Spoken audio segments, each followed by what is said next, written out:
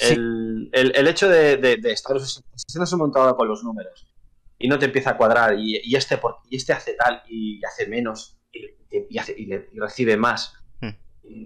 ¿Qué tengo que hacer yo para ¿Sabes? Te vuelves un poco loco.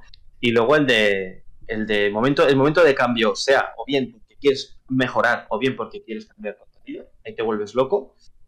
Porque claro, o bien cambiar lo que estás haciendo eh, te da miedo porque la fórmula te funciona, o bien porque no te funciona nada y quieres hacer algo, pero ese algo es complicado. Es complicado de saber el qué.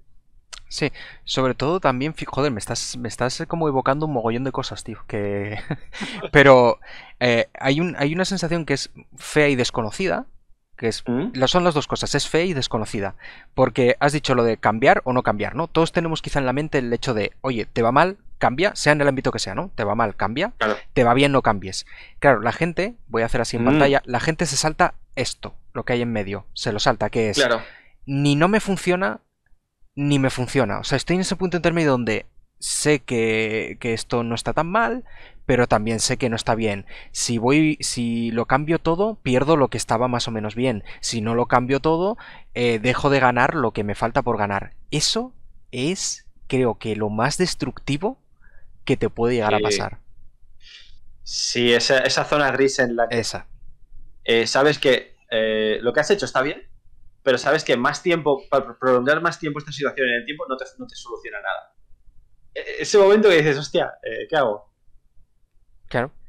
¿Y, a dónde vas? Porque dices, si cambio todo, pierdo lo que tenía antes y a lo mejor el cambio no me va bien.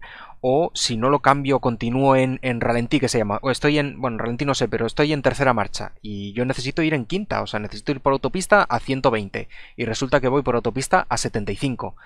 Vale, pero cambio el motor. Si el motor sale malo, que voy a 30 o se estropea del todo. Es un punto, quizás no es una comparación la mejor que he podido hacer, pero.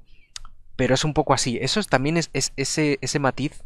La gente se lo salta. Piensa en si no te va bien, cambia. Si te va bien, no cambies. Y hay un algo intermedio que, te puede destruir ese cambio, ¿no? También. Joder, macho. La verdad que parece que me estás haciendo la, la entrevista o la charla tú a mí en vez de yo a ti, coño.